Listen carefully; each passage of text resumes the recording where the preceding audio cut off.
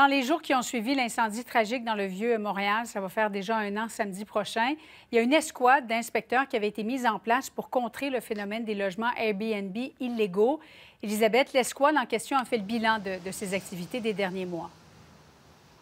Oui, parce qu'elle est en opération euh, déjà, cette escouade, depuis août dernier. Alors, ce matin, on a accompagné l'escouade qui est composée de trois inspecteurs sur le terrain. Vous allez voir des images. Euh, C'était des inspections sommaires qui se déroulaient, entre autres, dans l'arrondissement euh, Ville-Marie. Pour se souvenir un peu, vous avez parlé de la tragédie, oui, incendie mortel hein, qui a coûté la vie à sept personnes dans le Vieux-Montréal.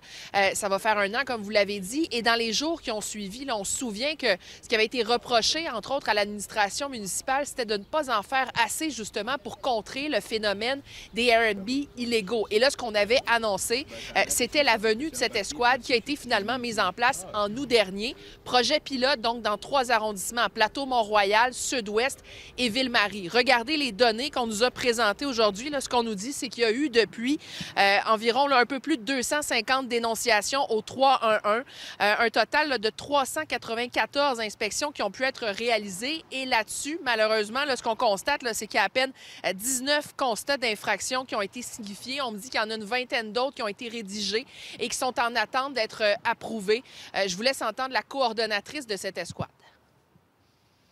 Depuis le déploiement de l'escouade, depuis les, premières inspections, on voit que les stratagèmes se peaufinent. Il y a même des groupes de discussion euh, entre les locataires euh, à savoir qu'est-ce que nos inspecteurs regardent, quels stratagèmes pourraient être mis en place pour euh, justement rentrer dans les failles ou dans la zone grise qui ne nous permettrait pas de démontrer hors de tout doute que c'est une résidence principale. Oui, on est très satisfait. C'est sûr qu'on on souhaiterait en, remettre plus, mais on souhaiterait aussi avoir une grande collaboration avec Revenu Québec qui a un impact beaucoup plus important que nous.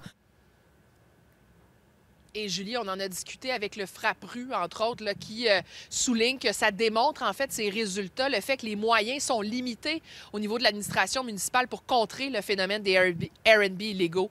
Écoutons semble peu au niveau des constats d'infraction qui ont été remis euh, sur le nombre finalement de visites effectuées.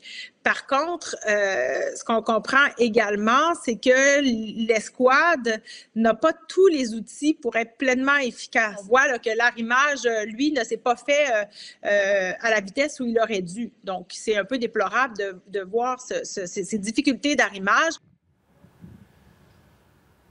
Et regardez euh, la réaction que nous a fournie l'opposition officielle à l'hôtel de ville. On nous dit que le peu de constats d'infraction remis démontre l'incapacité mm -hmm. de l'administration à faire respecter le règlement sur les locations touristiques à court terme.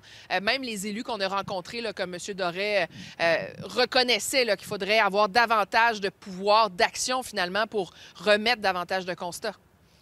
Merci beaucoup, Elisabeth. Au revoir.